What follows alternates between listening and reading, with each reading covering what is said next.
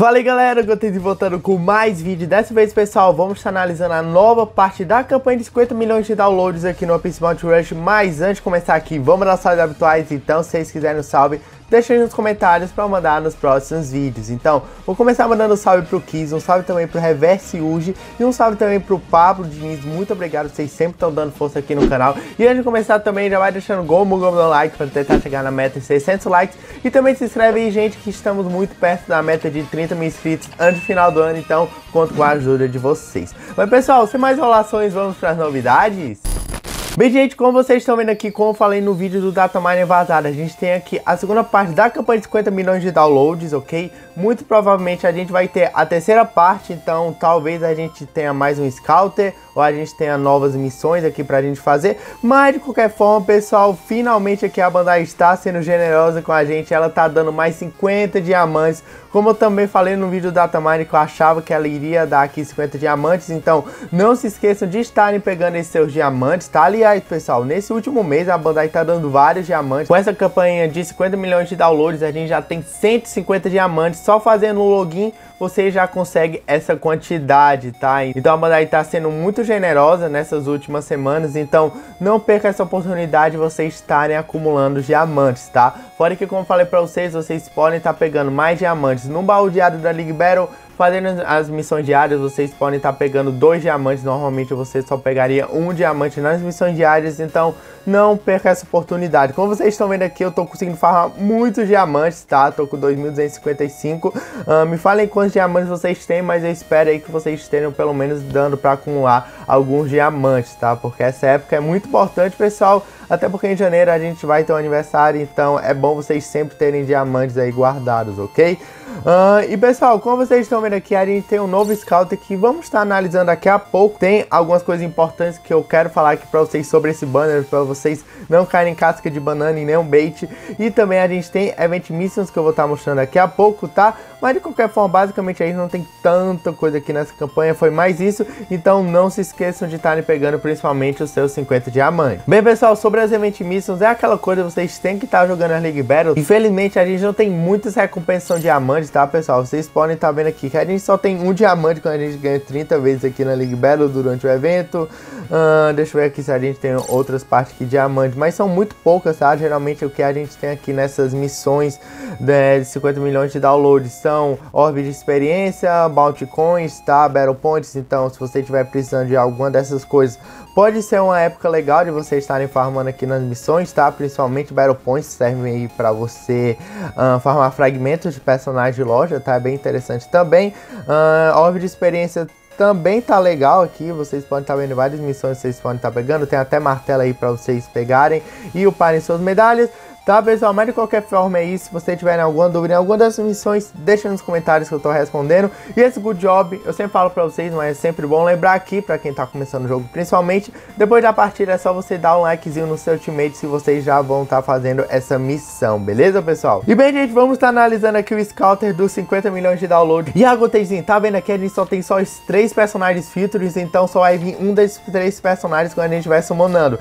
Calma, pessoal, não caiam dessa casca de banana porque como falei pra vocês no vídeo passado, né, no Datamine, muito provavelmente a gente ia ter outros personagens filtros e acabaram vindo, tá? Porque vocês podem estar tá vendo aqui nos drop rates como sendo filtros do banner, ou seja, que tem uma probabilidade maior, um drop rate maior de vir quando vocês estiverem summonando e vir um personagem 4 estrelas, tá? Como vocês podem estar tá vendo aqui. A gente tem o Godsop, o Lucy e o seu Pink, como tá aqui na frente do banner, mas a gente também tem o Kobe, o Marassi e também o Luffy Snakeman, que podem estar tá vindo também é, com hate maior, tá bom? Então não cai nessa casa de banana. Não sei porque eles não colocam os personagens aqui, é, filtro na capa, né? Mas de qualquer forma a gente tem esses outros personagens com drop rate aumentado, tá bom? Então não são só esses três personagens que tem uma chance maior de vir, tá? Além desses três personagens, como falei pra vocês, tem o Kobe, o Marassi e o Luffy Snakeman. Dito isso daí, pessoal, os três outros personagens aqui são personagens legais, tá? Principalmente o Marassi. Pra mim, ele é o defender que tem a melhor barreira do jogo, tá? Ele é um personagem muito legal de se jogar, muito tático também, principalmente agora nesse Red Meta.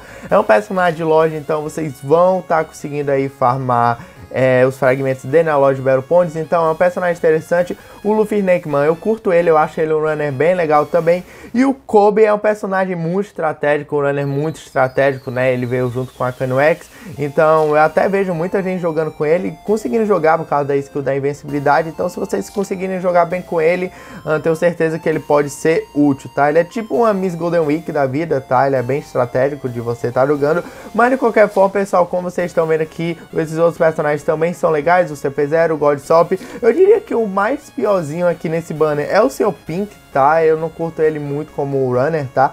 Mas de qualquer forma, os outros personagens eu acho ok, principalmente aqui o Marassi, eu acho ele um defender muito legal de loja. Então tá um banner bem decente, pelo menos aqui na minha opinião, tá, gente? É, me fala nos comentários se vocês summonaram, que personagens aqui vocês pegaram, se vocês pegaram o Godsop, o CP0, o Marassi ou o Luffy Snake, eu quero saber aí a sorte ou azar de vocês tá? Então, pessoal, talvez aí se vocês quiserem, né, já que a gente tá ganhando 50 diamantes, vocês podem estar tá summonando o primeiro passo para ver que personagem 4 estrelas vocês vão ganhar aqui, ok? Como eu disse para vocês, o God Sop é um personagem muito bom ainda, um dos melhores runners do jogo, tá? Se vocês tiverem um God Sop, fale nos comentários se vocês acham ainda que ele é um runner legal, mas pelo menos eu acho que ele ainda tá um personagem bom de se jogar, tá? Tem o CP0 também, que é um ataque bem útil também, embora ele seja um personagem velho. Então, tem várias opções nesse banner que são interessantes. Você não vai puxar nenhum personagem aqui muito inútil, tá bom? Tirando o seu Pink, os outros personagens aqui, na minha opinião, são personagens bem estáveis para bom, né? Fora que tem vários personagens de lojinha,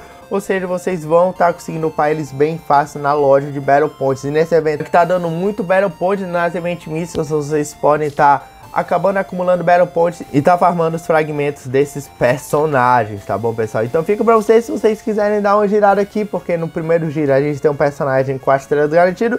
Vocês podem estar tá summonando e estar tá pegando algum desses personagens que eu tenho certeza vai ser interessante. Então fica aí na opinião de vocês. O banner eu achei ok e tal. Eu não fecharia esse banner, como eu falei pra vocês. Se eu fosse summonar, eu summonaria mais pela primeira parte aqui, pelo God Sop, pelo CP0. Talvez pelo Barassi também, que ele é um defender bem legal de estar jogando, tá? Ele tem uma barreira muito apelona, ele fecha vários mapas com a skill da barreira dele. Então é um personagem ok de se jogar. É, e é isso, pessoal. Espero que vocês tenham gostado do vídeo, tá? Me fala nos comentários se vocês curtiram ou não a segunda parte da campanha de 50 milhões. Eu curti principalmente pelos diamantes que a Bandai tá dando aqui pra gente. Finalmente a Bandai tá sendo benevolente. Mas também ela tá trazendo vários banners pra gente tá gastando os diamantes também. Tem que ponderar essa situação, né, gente? Mas, pessoal, basicamente é isso, tá? Espero que vocês tenham gostado do vídeo. Mas, basicamente é isso, pessoal. Espero que vocês tenham gostado do vídeo. Se você gostou, deixa o no like e se inscreve pra vocês não perderem nenhuma novidade aqui no canal, beleza? E, gente, qualquer nova atualização do One Piece Watch Rush eu vou trazer aqui pro canal, então se vocês não quiserem perder nenhuma notícia, fique inscrito no canal pra vocês ficarem informados em tudo que acontece aqui no jogo, beleza? Então, galera, basicamente é isso. Fiquem com Deus e até o próximo vídeo. Fui!